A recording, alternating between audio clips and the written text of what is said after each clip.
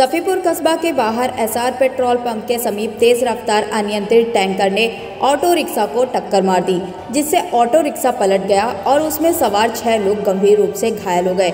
वही सूचना पर पहुँची पुलिस ने एंबुलेंस से घायलों को अस्पताल में भर्ती कराया, जहाँ डॉक्टरों ने तीन लोगों को गंभीर हालत में जिला अस्पताल रेफर कर दिया। उन्नाव के सफीपुर कोतवाली क्षेत्र के एसआर पेट्रोल पंप के समीप बांगर मो की तरफ़ जा रहे तेज रफ्तार टैंकर ने ऑटो रिक्शा को टक्कर मार दी।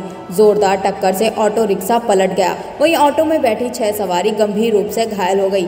राहगीरों की सूचना पर कस्बा इंचार्ज सुनील कुमार यादव पुलिस बल के साथ मौके पर पहुँच गए।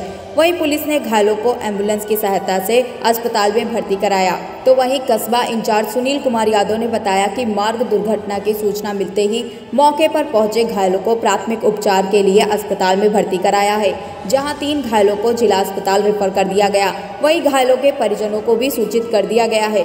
ब्यूरो रिपोर्ट आई